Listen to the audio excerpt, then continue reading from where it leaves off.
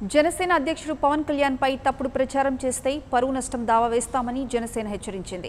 రాజకీయంగా ఎదుర్కోలేక తప్పుడు ప్రచారం చేస్తూ బుర జల్లడానికి కొందరు కుట్రలు పడుతున్నారని జనసేన పార్టీ న్యాయ విభాగం కోఆర్డినేటర్ ఇవావ సాంబశివ ప్రతాప్ అన్నారు. రాజధాని అమరావతిలోనే కొనసాగించాలని జనసేన చేస్తున్న ప్రజా పోరాటానికి కోట్లాది గొంతులు తోడు కావడంతో ఎదురొడ్డి పోరాడలేని అల్ప బుద్ధిగల వారే ఇలాంటి చర్యలకు పాల్పడుతున్నారని ఆయన విమర్శించారు.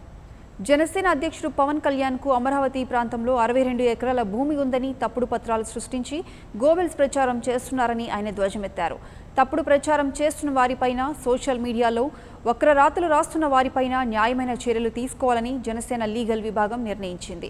ఈ ప్రచారానికి కారకులైన వారిపై పరువు నష్టం దావా వేస్తున్నామని ఒకటి రెండు రోజుల్లో వారికి లీగల్ నోటీసులు పంపుతున్నామన్నారు Sambasiva Pratap for more updates please subscribe ninety nine TV Telugu